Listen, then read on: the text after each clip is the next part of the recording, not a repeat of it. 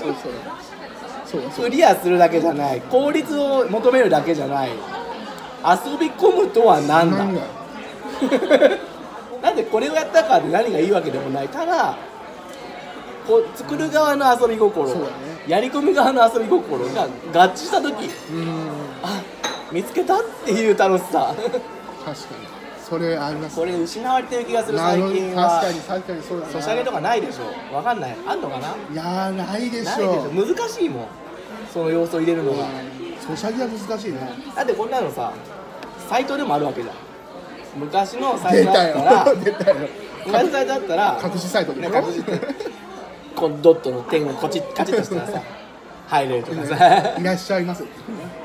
あなたは18金以上ですか？はいいいえみたいな。でいいえはいにしてあるんだよねまず。でいいえの方押しちゃったら戻っちゃうから。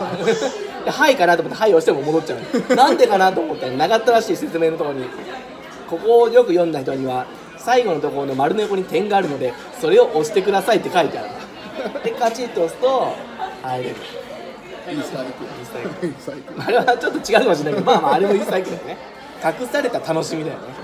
そう考えるとソシャゲにはないなないねでもやり込むっていうよりはて強い敵がいてなんか一旦で倒すとかね。あそうですそういうね名言の中の一つでルールが嫌いっていうのがあるのででもなんかゲームやってるとここはちゃんとこうしていかないといけないだろうって思っちゃう。でそれをちゃんとやっていくといけそうに見えるんだよね。で作られてるから。その上に乗って歩いていくと踏み外すようになってるってう。いうあの感じ？ムーンってゲームあったの。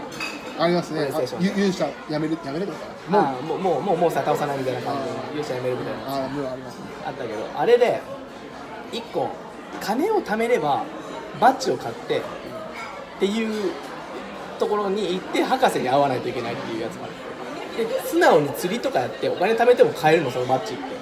寄付額を出すでも倍膨大なの。やってらんねえのそれって。でもそのバッジ自体が実はフィールドの中を遊び回ってるとバッジ1個落ちてる。の落ちててポンラッキーみたいな感じでこれを持っていろんな人に渡していったりとかするとあっちこっちそのバッジが大きくなってってうん。最終的にその本当だったらものすごい額のお金を寄付しないともったいもらえないやつをまで物々交換にできる。でこれでいけるの。とかいうそういうのがあったり。ー。あとはまあ俺が一番思ったのはマザー2のラストかな。ギーク。ギークうん倒しに行く時。祈るやつ。祈る。祈るか。祈るを気づかないと倒せないんだよ絶対。倒せないね。でも祈り続けることによってああわかるわかる。うん。わけわかんないダメージだと思って。あれはねすごかった。ああいうことじゃん。うルールを破る、ん。全然聞かない。何これ？みたいな RPG のルール無視してるわけじゃん。最一番最初から最後まであった。祈るこれ使ってねえやん。そうそう。今までねなかなか使わないんだよねあれね。使わずに倒してこれるんだよでルールを染み込まされて 染み込んじゃったこのゲームリテラシーをいかに崩すか。ゲーマーの楽しさじゃん。あれはすごかったあれすごかったな。あれすごかっそれを思い出させてくれたこの,、うん。あこの映画は。た確かあれはよかった。で大人がなんか大人なりの裏技を使ってくるわけじゃんに大人なりの裏技だからゲームのやつやってるけど、プレイヤーを攻撃すると。か大人の発想じゃん。ゲームのやってるプレイヤーの方を攻撃してくるとか。ああそうそういうことね。あ大人のやり方じゃん。あそうですね。ああそうですね最後の最後。一つは知ってる作品が出ると思うんで、うん。これ見る人は。そこそこを見てほしいですね。やり込み要素ポップカルチャーのやり込み要素。カルツそれだそれだなんかさ教養って言葉がさあるじゃん。世の中にさ教養って何かっていうとさ法律集じゃないんだよ。今までどんだけ自分の中で蓄えてきててもうこの人生で1回しか使わないような知識をいかに使えるかっていうのが教養じゃん。それを思い出させてくれる。でバッと見てパッと見ただけであパートナーズだとかあガンダムだ。と かそのセリフを言うのかと。かな全然拾いきれてない言葉なんていくらでもあったと思うしいやっぱ洋画中の方が喜べる言葉もいっぱいあったと思う。なんかまとめあります？まとめ？とめ。まとめですね。あれですね。なんか本当未来を描いたような映画だったんで、うん。まあ、今後の現代の VR の進化を見てほしいです。よ、うん。気になりましたとなると、多分売春とかありますよ普通に。あの世界ね。あの世界多分スピリスピルバーグが考えついた世界だけど、俺が考えたらバーチャルセックスは絶対やってる。でもちょっとあったでしょ。要素こういうのはあれ分かりましたね。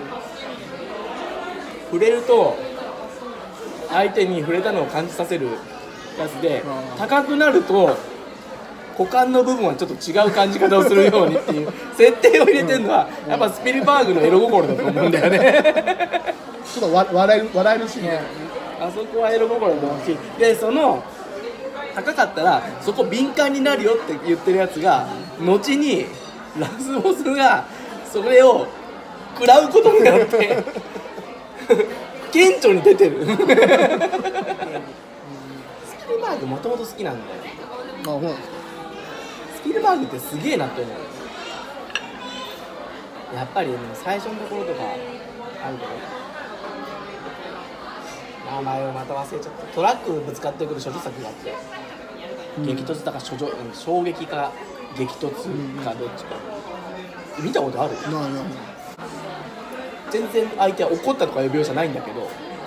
一瞬通してくれたなと思ったら通したところにこう相相手の車が他の車があったりして危ねえとかなって、なんてことすんだって言ったら追い抜く。追い抜いたら後ろからぐわーっと追いかけてくるの恐竜みたいな感じなのよトラックは。へ生き物みたいにえ。怒った獣のように来るのえ。で一回落ち着くシーンとかあって。緩急があるね。緩急もすごい。で最終的にまあなんかもうほんと歩きんなの主人公それをもう車が追いかけます。やべえ。なのに人間勝つ。崖から落としてで最後まで運転手出てこない。出てくる腕だけ。怖っ。ゼゼロじゃない。サスペンスホラーアクション。全部混ざってたなと思って。で これこそねスピルバーグだなと思うのと王道も持ってくるんだけど絶対にここ行けば逃げられるよっていうのを起こしといてじゃあ行くよって言ったら絶対そこに悪いことが起きる。ああそうっていうのは何回も起きる。どこでも。今回の映画もそうだし前のやつもそうだしそうですね。もう逃げられると思う解決策をわざわざ潰すってもの作るストーリーを考える人間としてはやりたくないのよ。そうですね。だって自分を苦しめる行為だから、うん。でも俺は面白くするための行為なので騙すのがうまいと思う。でその上で綺麗なやつを残してる。反則じゃないのを残してる、ああなるほどね。うん、だからベストエンドとトゥルーエンドをちゃんと用意してくる感じでベストエンドに見せかけといてトゥルーエンドこっちにあるよってちゃんと見せてくる。最後の最後まで。最後の最後まで騙されるじゃん。まあ。仮想現実と現実のラリー感もうまかった。ああそうですね。ああいうの。どこに答えがあるの？どこまで答えがあるのっていう。のがね最後まで分かんない。これが答えかなと思ったぐらいだったら全然追いつけない。そういう楽しさがありましたね。ご視聴ありがとうございました。チャンネル登録よろしくお願いします。これこのこれここれでこここここにつけるこんなところにつかないの？この辺にあるんだよ